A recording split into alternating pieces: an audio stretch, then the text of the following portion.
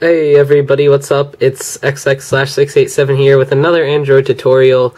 Today I'll be showing you guys how to um, use cheats in Pokemon or any other game uh, using the Game Boy Color emulator. So, a uh, big problem is one-line cheats, they all work, but if you have a cheat that's more than one line, it won't work uh, with emulators cheats. So, uh, there's actually a way around this. Now, what I'm going to show you is the method that you use to uh, make it work. So uh, just title a line. Each line, the trick is each line has to be an individual code. So uh, what I have here is the code for walk anywhere in Pokemon. So put that in, and uh, I have all four lines of the walk through walls cheat. Enter all of them, and now the cheat works on an emulator, which is really cool.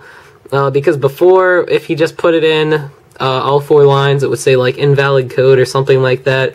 So this will work for any uh, any code or anything. Uh, for any game, not just Pokemon, if you have a code that's not working, that's probably the reason. So if this helped you out, be sure to uh, leave a like rating and subscribe, and I'll see you guys later. Uh, if this helped you out, be sure to like and subscribe, like I said, and I'll see you guys later. More tutorials on the way. Peace.